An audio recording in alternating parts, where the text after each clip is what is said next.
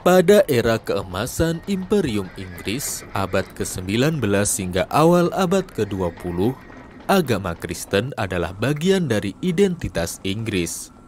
Namun pada periode ini, terdapat sejumlah kecil orang yang meninggalkan Kristen dan memeluk agama Islam. Salah satunya adalah Lady Evelyn Murray. Lady Evelyn mengenal Islam karena kerap melakukan perjalanan ke negeri-negeri Muslim. Lady Evelyn adalah anggota keluarga bangsawan di Edinburgh yang banyak menghabiskan waktu di Skotlandia dan Afrika Utara. Ia menulis di buku memoarnya, di Afrika Utara inilah ia belajar bahasa Arab. Salah satu yang saya suka adalah mengunjungi masjid bersama kawan-kawan saya dari Aljazair, tulis Lady Evelyn. Dan secara tidak sadar dalam hati, sebenarnya saya sudah muslim, ungkapnya. Di rumah keluarga yang mewah di Dunmer Park, ia suka mengamati kijang dan pandai menangkap ikan salmon. Ayahnya, Earl of Dunmer ketujuh, merupakan penjelajah yang melakukan perjalanan ke negeri-negeri jauh seperti Kanada dan Cina. Sang ibu yang pernah menjadi salah satu asisten pribadi Ratu Victoria juga senang melakukan perjalanan ke luar negeri. Mungkin dari sini, pada diri Lady Evelyn mengalir darah kesukaan melakukan perjalanan. Ia bertemu dengan John Cabot yang kemudian menjadi suaminya di Kairo, Mesir.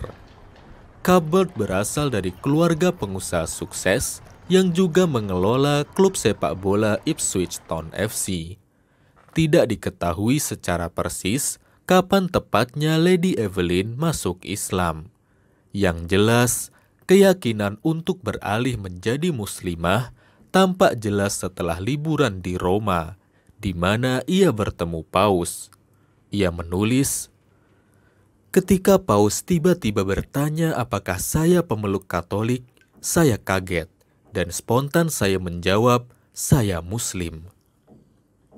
Ia menjelaskan ia tak tahu mengapa ia memberikan jawaban itu ke Paus. Yang pasti, itu seakan menjadi momen untuk makin giat mempelajari Islam. Pakar sejarah William Vesey yang menulis kata pengantar memoir Lady Evelyn mengatakan, sering kali orang tertarik dengan Islam dan akhirnya memeluk Islam karena aspek spiritual dari agama ini. Menurut Vesey, di balik perbedaan doktrinal, sebenarnya agama-agama besar punya kesamaan asal. Di Timur Tengah, Lady Evelyn oleh kawan-kawan Arabnya dikenal dengan nama Lady Zainab. Ia punya akses luas dan pernah menulis tentang pengaruh dominan perempuan di budaya muslim. Pada usia 65 tahun, ia menunaikan haji ke Mekah, perempuan Inggris pertama yang melakukan ibadah ini.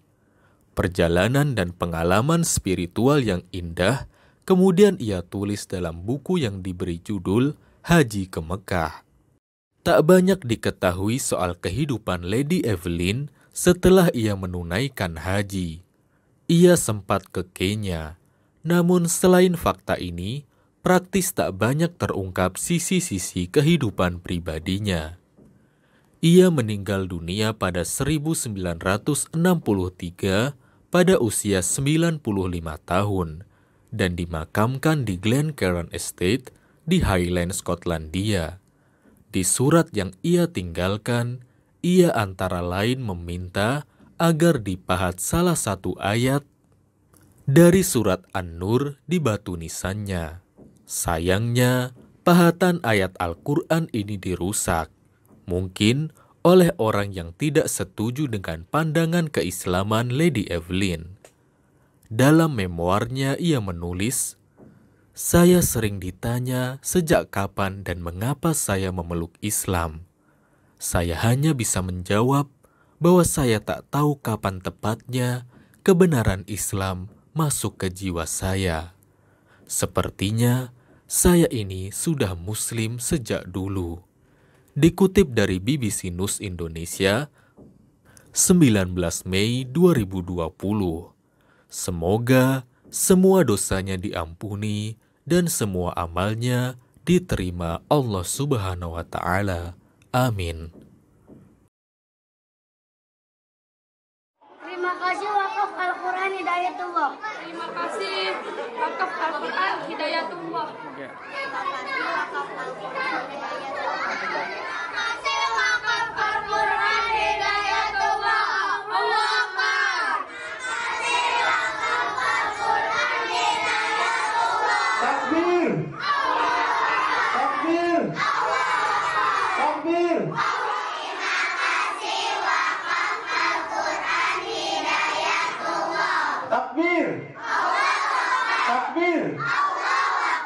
Amém.